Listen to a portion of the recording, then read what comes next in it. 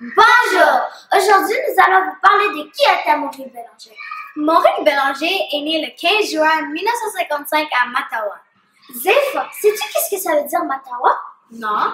Matawa veut dire dans la langue des autochtones deux rivières qui se rejoignent, la rivière d'Ottawa et la rivière de Matawa. Également, Maurice Bélanger a fait ses études secondaires à North et ses études universitaires en baccalauréat en art à l'Université d'Ottawa.